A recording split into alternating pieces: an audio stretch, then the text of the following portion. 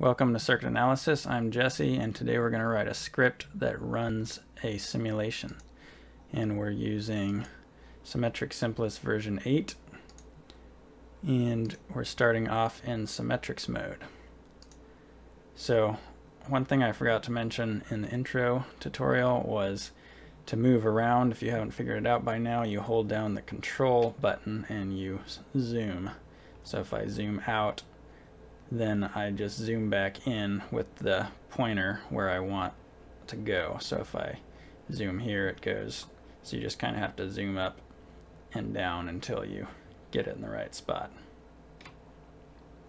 So we have a simple circuit here with a 10 volt source, a 1k resistor, and a capacitor that's going to charge. And to make it charge, we have to start it off with initial condition of zero. So we have that in here, initial voltage zero. And now if you run this, then it just shows up here as the capacitor is charging. So let's write the script. So we're going to go to new and script. And then it only takes a couple lines for this. So we'll write a comment and we'll say we're going to create a net list and run. So the first thing we're going to do is create the netlist. To do that, you just use the netlist command and you give it the file name for what the netlist output is going to be. So we're going to call it design.net. The next thing we're going to do is we're going to run the netlist. So we use the run command and we do forward slash file to give it the name of the file that we want to run. So we're going to run design.net. So that's the netlist file. And it keeps popping up here with um, suggestions. You just have to click outside of that to get it to go away. And now that we have that, we can save it. And we'll save it in our demo folder here as run. And we'll just save. So if we want to use this script now, we can just click play and it runs, creates a netlist and it runs the only other schematic that's open, which is this one here. So now let's switch to SIMPLIS. So we'll close this, simulator, switch to SIMPLIS mode. And now this one's almost the same, but we got to change a couple of things. So we have to add this option in here, SIMPLIS. And then we also have to add in this pre-process step. So we do pre-process netlist. And then we're going to give that our file, our netlist file. And then the output of that is going to be, we'll just call it design pre.net.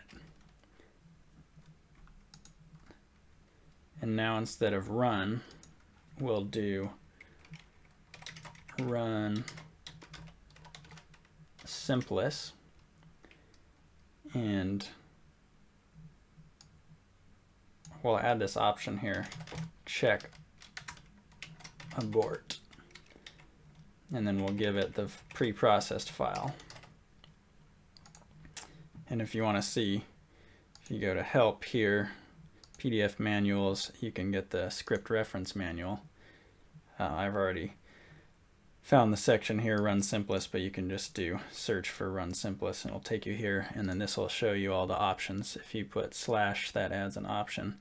So check abort, instruct SIMPLIS to check abort requests. So if you have a long simulation, you want to add that in case you want to abort it. Otherwise, when you tell it to abort, it'll just ignore you. So now we can save this and we can run it. And we see we have the same thing, but now in SIMPLIS mode. Now another thing you might want to do if you're doing a bunch of runs or some long code is see how long it's going to take to run. So an easy way to do that is to create a variable that records the time. So we say let, and we'll call it start time and you just write epoch time. That function returns the current time, so you can get the start time at the beginning, and then you can get the end time. And then we can echo this to the console, and we'll just say run time. This is just text that it's going to print out. And then we put the squiggly brackets to do a calculation, and we're going to say end time minus start time. And we could divide this by 60 if we wanted to get minutes, but since this is so short, we'll just output it in seconds, we'll say seconds. So now when we run this, it will say here in the command shell, runtime is 0.91 seconds. All right, that's it for now. Thanks for watching.